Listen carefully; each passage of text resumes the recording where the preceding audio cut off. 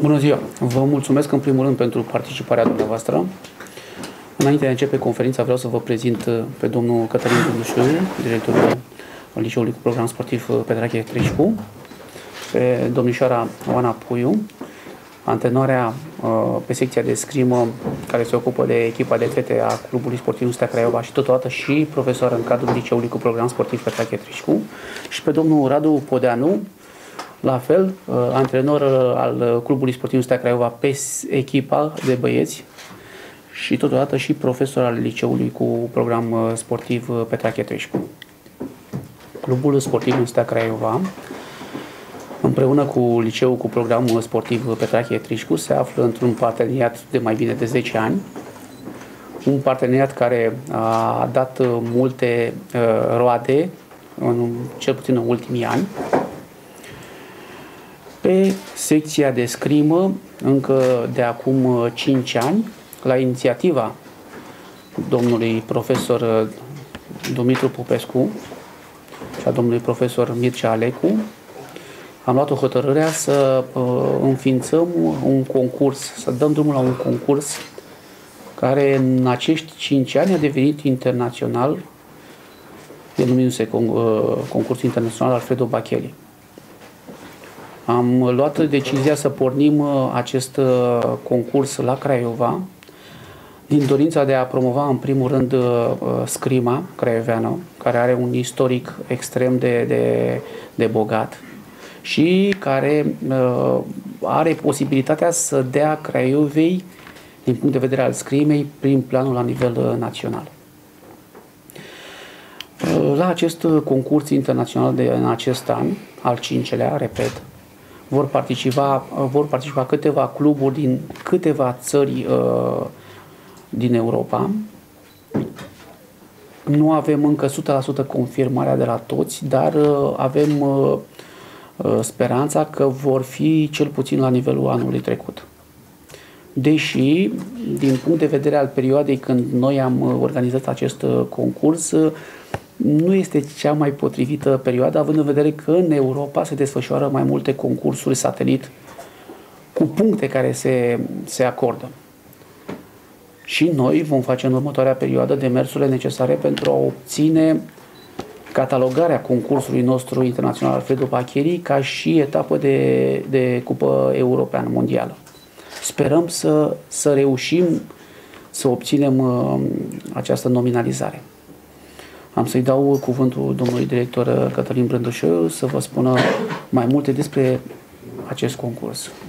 Bună ziua! Din nefericire pot spune că aducem un omagiu domnului profesor uh, antrenor emerit Dumitru Popescu, Dânsul a fost inițiatorul acestui turneu și în acest an uh, inclusiv anumite plachete vor avea inscripționate pe, pe verso numele domnului profesor Dumitru Opescu.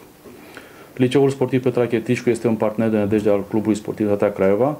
De aceea sperăm și credem că în acest an uh, competiția va avea un nivel foarte ridicat. Așteptăm un număr de 150 de sportivi care participă la cele două, la cele două, pe cele două discipline, să zic, spadă feminin, spadă masculin.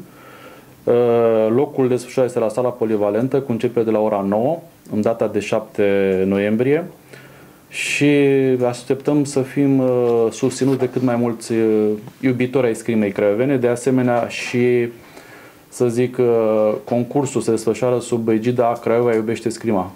Pentru că foarte mulți sportivi sunt craioveni, foarte mulți sportivi de scrimă sunt din Craiova, inclusiv lotul României este, să zic așa, la origine uh, craioveană.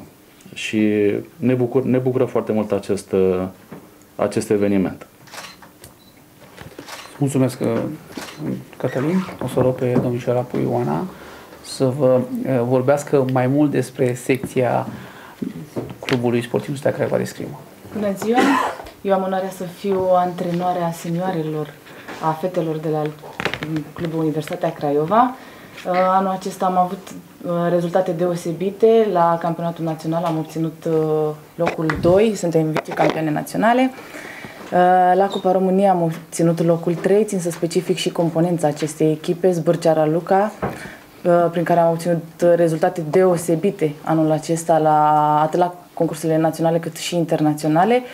Uh, Ionele Diana, Ionica Cârstea Alexandra, uh, deci eu Alexandra și Ecobici Sabina, care acum două săptămâni a obținut uh, primul ei rezultat locul 3 la Cupa Federației, pe care am susținut-o în incinta liceului cu program sportiv Petrache Trișcu.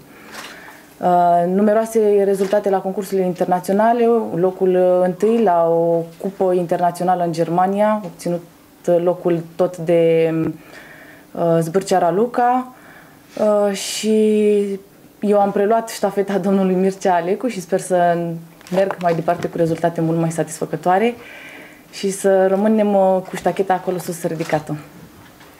Mulțumesc, Oana. Îi dau cuvântul domnului Radu Podeanu. Bună ziua! Anul 2015 a fost un an foarte bun pentru spada masculin, mai ales că S-a obținut prima medalie internațională la spadă masculină echipea României, locul 3 la campionatul de tineret, ce a avut loc în Italia în luna aprilie. Trei dintre componenții echipei au fost uh, sportivi ai Clubului Universitatea Craiova. Um, după aceea, la campionatul național de senior s-au obținut patru medalii, un titlu de campion național obținut de Liviu Dragomir, două medalii la, la echipe, iar locul 3 la individual de către Mitrica Alin. Aceste rezultate au dus la o clasare foarte bună a sportivilor mai tineri ai clubului, ei obținând în luna octombrie titlul de titlul locul 1 la Cupa României. Uh, sportivi care au 20 de ani, Trandafirescu Ionuț, uh, Persu Mariu, Părvuleasu Ovidiu și Vâlceanu Ștefăniță. Uh, la concursul internațional, Trandafirescu Ionuț a obținut săptămâna trecută un rezultat foarte bun. S-a clasat pe locul 3 la campionatul balcanic, ce a avut loc la Niș în, uh, în uh, Serbia. Iar Părvuleasul Ovidiu a avut o clasare foarte bună la un concurs de satelit ce a avut loc la Berlin de acum o lună, locul 6. Pe mine mă bucur aceste rezultate și sper ca pe viitor să, să ne clasăm din ce în ce mai sus la aceste competiții. Îți mulțumesc, Radu. Am început anul 2015 cu doi antrenori uh, noi pe secția de scrimă, pe cele două echipe, băieți și fete. Um, este o schimbare fortuită pe care am făcut-o. Am adus uh, doi antrenori tineri, doi antrenori care cunosc foarte bine uh, grupurile pe care le antrenează. Grupele de băieți și de fete ale noastre sunt formate cu, cu prioritate și preponderență din sportivii crescuți, născuți, formați în regiunea Craiovei. Uh, ăsta este și motivul pentru care noi uh, la Clubul Universitatea Craiova am încercat să oferim resursă financiară uh, la nivelul așteptărilor pentru secția de scrimă, pentru că ea este foarte performantă și acoperă prin sportivii pe care ea are ceea ce noi dorim la nivelul uh, conducerii clubului sportiv Stea Craiova. Totodată, uh, domnul Mircea uh, Alecu, care a fost antrenorul pe secția de, de scrimă, echipa de fete, a rămas alături de noi, dânsul ocupându-se în continuare de organizarea și urmărirea activității pe cele două echipe, băieți și fete. Dacă dumneavoastră aveți întrebări pentru noi, vă stăm la dispoziție. În orice caz, noi vă mulțumim pentru prezență și sperăm ca dumneavoastră să transmiteți uh, invitația noastră craiovenilor prin instituțiile pe care, la care noastră sunteți uh, lucrați, pentru a avea sâmbătă un număr uh, mare de craioveni care să vină la sala polivalentă. Scrima merită să fie promovat în orașul nostru pentru că, până la urmă, este un centru de excelență care se află aici. Au fost formați extrem de mulți sportivi, avem rezultate bune internaționale la nivelul scrimei românești și creiovene și e păcat acest sport nobil să nu fie promovat la justa lui valoare.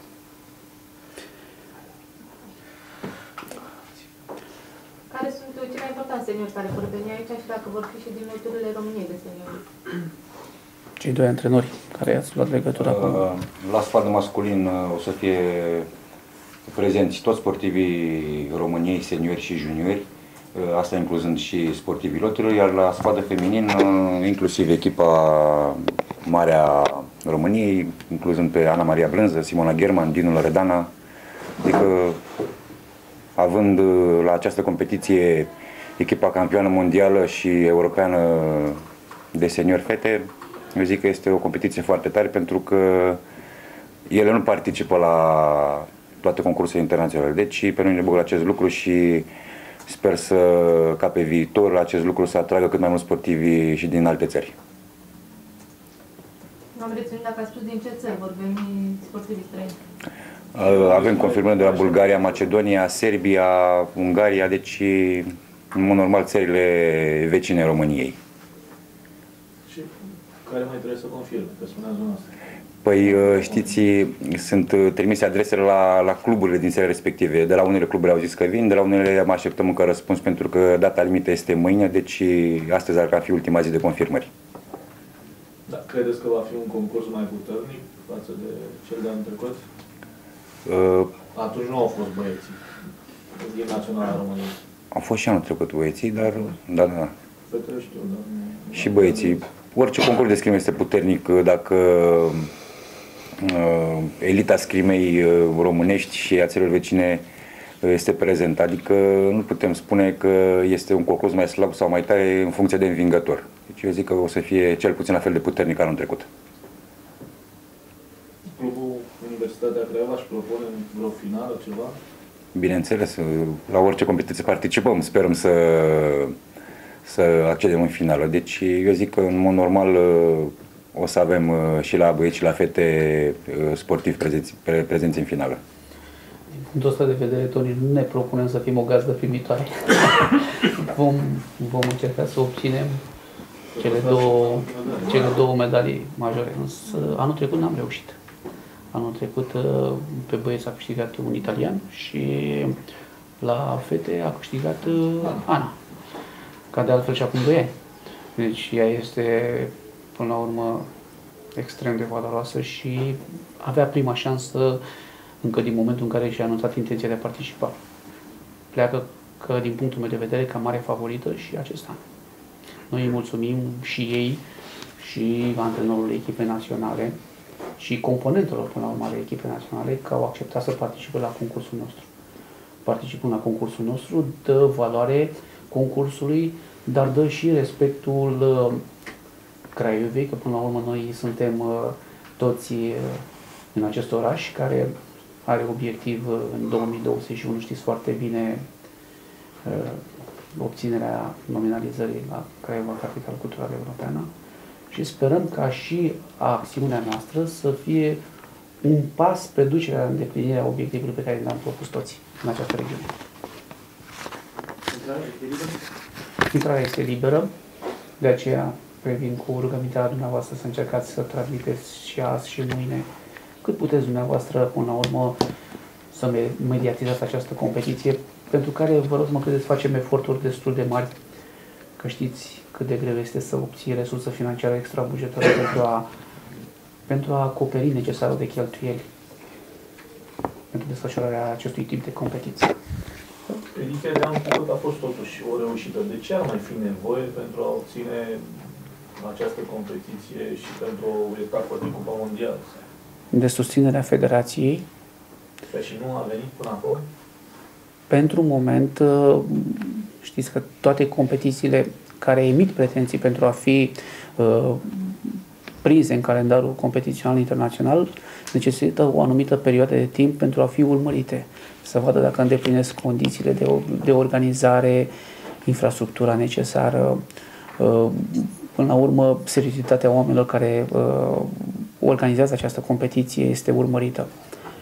Uh, avem uh, neșansa, noi am invitat-o și pe doamna Ana Pascu, știți foarte bine că dânsa are o problemă uh, de familie foarte gravă și probabil că, deși în primă instanță a confirmat că va veni la această competiție, probabil nu va participa și o înțelegem și suntem alături de dânsa în aceste momente grele pe care le traversează. Apropo de asta, se va ține un moment de reculegere, chiar și în memoria uh, fostului profesor Dumitru Popescu. Este uh, în intenția noastră să facem acest lucru. Uh, sperăm să, să, să fie acest moment de reculegere în fața unui public numeros. Pe care mă, dumneavoastră îl veți aduce până la urmă prin mediatizarea pe care o veți face. Vă mulțumim mult pentru prezența Pe noastră viitor încă o vă dată. gândiți să schimbați denumirea acestui turneu în numele ce? Pe viitor ne dorim să uh, înființăm încă un concurs internațional cu numele domnului profesor uh, Dumitru Popescu. Vă rog să mă credeți, eu am fost foarte legat de domnul Popescu, cum de altfel sunt legat și de domnul Alecu. I-am respectat extrem de mult și am avut uh, extrem de multă încredere în amândoi. Când am pornit această secție de scrimă, am pornit-o cu domnul Alecu și ulterior, uh, lângă dânsul a venit și domnul Popescu. Doi antrenori și doi oameni extrem de, de profesioniști, extrem de dedicați uh, muncii pe care o erau angrenați. Odată cu trecerea în neființa domnului uh, Popescu Dumitru, am pierdut un mare om, un, un mare antrenor și un mare profesionist.